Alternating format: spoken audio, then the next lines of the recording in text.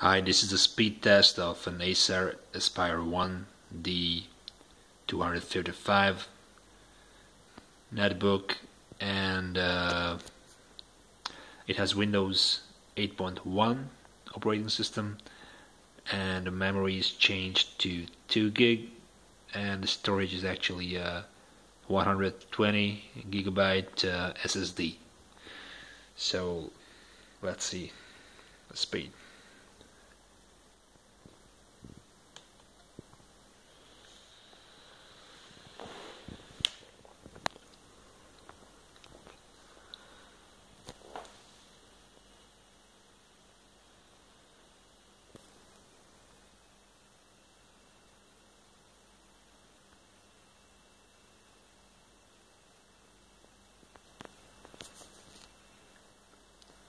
it's pretty solid.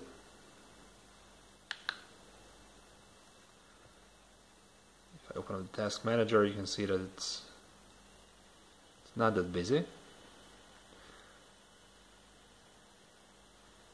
Actually the processor is but the hard disk is okay. The memory is fine. And the processor went down as well. So start Google Chrome. Oops. It's quite fast. So after all, we got a pretty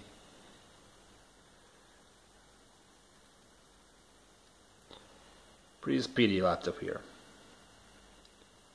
So SSDs definitely definitely worth money.